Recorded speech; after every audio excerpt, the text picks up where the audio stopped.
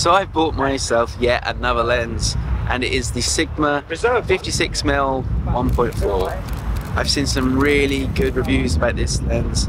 It's a Fuji X mount, so it doesn't mean I need my adapter. It's small, it's light, I already like the feel of it, and I am here in Brighton and I'm going to test it out for the weekend and I'm going to be testing its photo and video capabilities. So the forecast is expected to be better, so hopefully let's make some good stuff.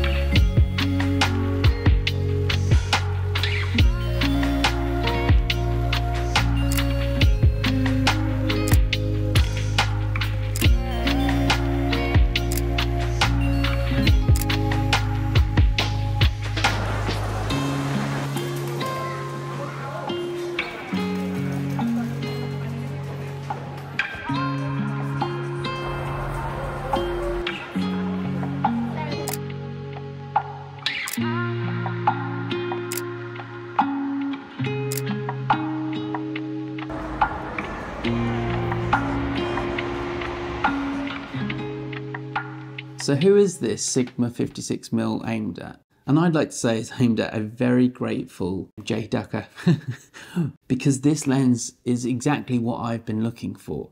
It's so light, compact, durable, not really too many gripes I have about this lens after testing it out for the weekend. I hate the fact this is possibly called a budget lens, but it really packs a punch. The 1.4 aperture is very kindly appreciated. It's travel friendly, which is the best part about it. I don't mind putting in the bag with my 35mm. I hate using the same superlatives, but this is fantastic. And if it does something similar to the job of something that is far more expensive than this, then I'm going to choose this every time because I'm not a pixel peeper. I don't think the people I work for or the people who appreciate my work are either, and I don't think many people could really tell.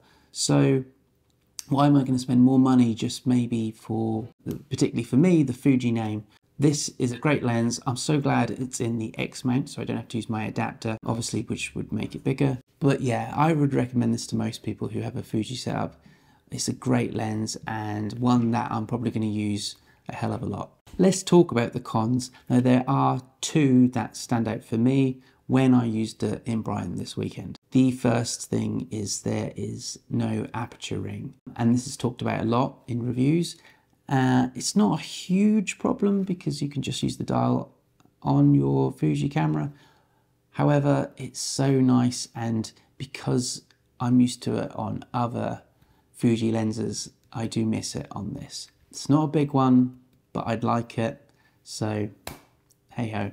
The only other thing I can say is that the autofocus isn't quite up to the standard of some of my other lenses, but it still does an amazing job. But I think what you're getting for your money out of this lens far exceeds something like autofocus. And maybe we should all practice a little bit more with manual focus because, you know, there's a lovely manual ring here. So maybe we should try using that once in a while. Anyway, a really good lens. I really recommend it. I really recommend going to Brighton if you haven't. Great for street photography, so much color, so much vibrancy, a really great city onto itself. So yeah, go take some more photos, go make some waves, and I'll see you in the next one. Peace.